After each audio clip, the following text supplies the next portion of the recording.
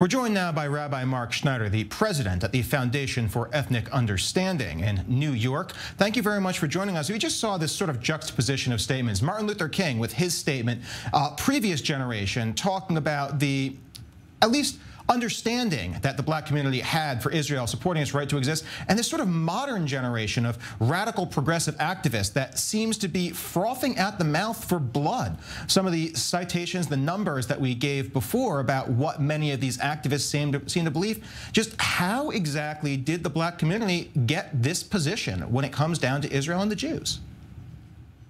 As I point out in my book, Shared Dreams, Martin Luther King Jr. and the Jewish community that Dr. King understood that a person who fights for their own rights are only as honorable as when they fight for the rights of all people. And why Dr. King was a tireless advocate in supporting the state of Israel and being at the forefront of the Soviet Jewry movement and his total disdain, his zero tolerance for anti Semitism, particularly when, towards the end of his life, in the more militant wing of the civil rights movement, those kinds of anti Semitic attacks, rhetoric, and diatribe were coming to the fore. It's unfortunate, as we just observed Dr. Martin Luther King Jr that many Blacks of our generation are simply not familiar with Dr. King's being the champion and the civil rights leader, not only for Blacks, but for Jews as well.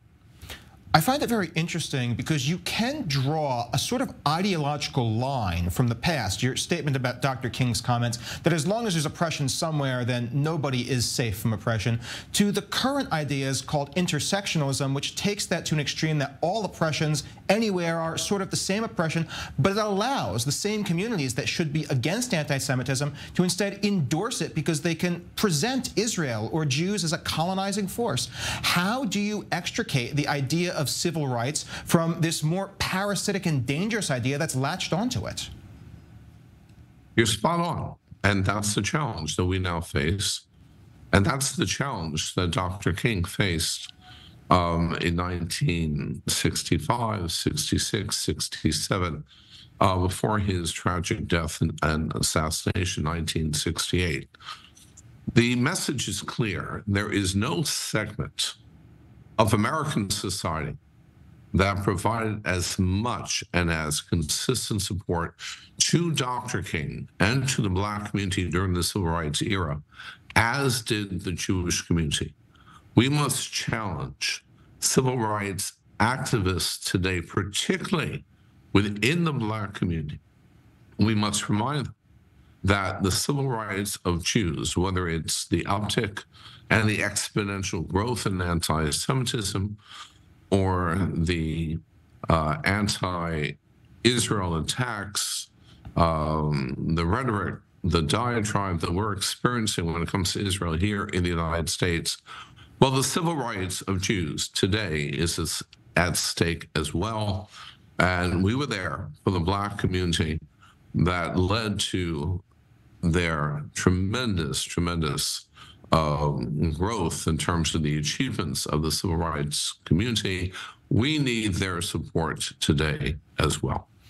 Rabbi Schneier, have Jewish, particularly Jewish progressive groups, really just dropped the ball on this front? They have there was that very loud endorsement of Black Lives Matter by the ADL before you saw it flagrantly turn into the organization that it is today.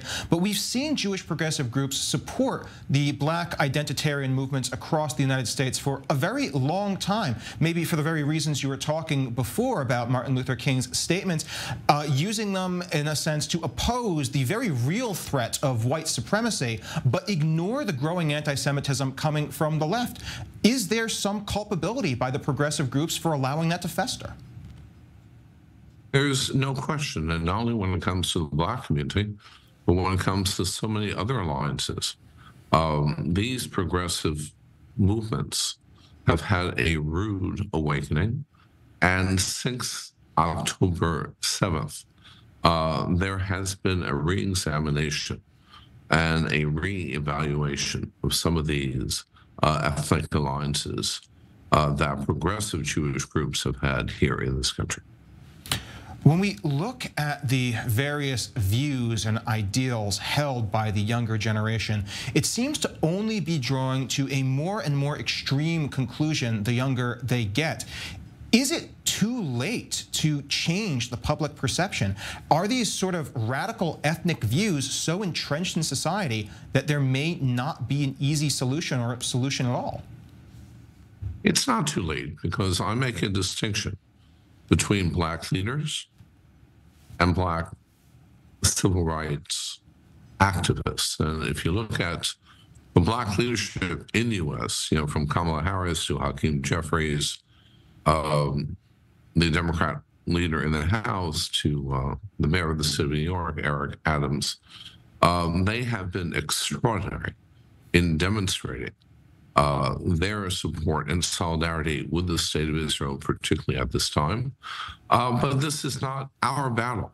We need uh, allies in the Black community uh, to join us, not only in supporting of Israel, but to educating and sensitizing the young people within their own community as well. Is there a good roadmap for actually doing that? When, if we look at the influencers in the younger generation, it's not the establishment of the party, but it's figures like Ta-Nehisi it's figures like Candace Owen, it's figures like Kanye West. How do you reach out to a younger generation when they're listening to those voices rather than older and wiser ones? I uh, respectfully disagree.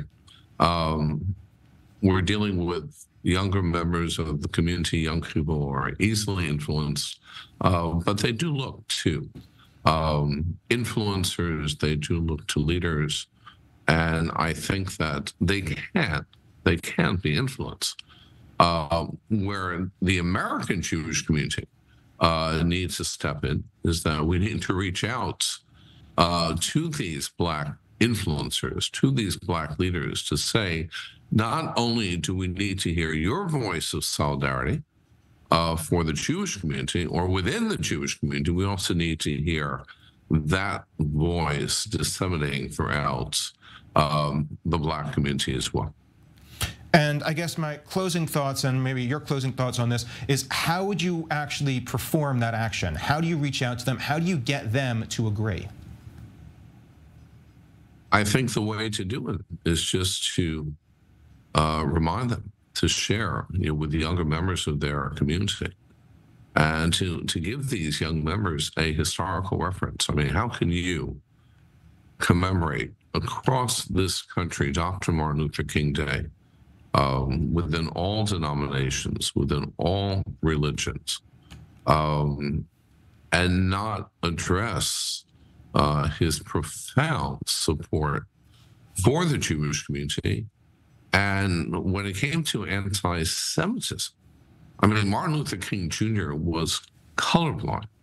He had zero tolerance, he had total disdain, and he was not afraid to call out members of his own community. We have that historical reference.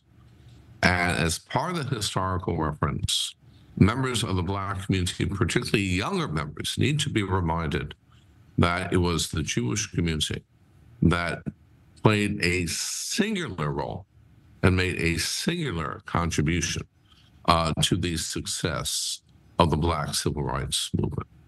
Well, thank you very much, Rabbi Schneier, for your thoughts on that topic.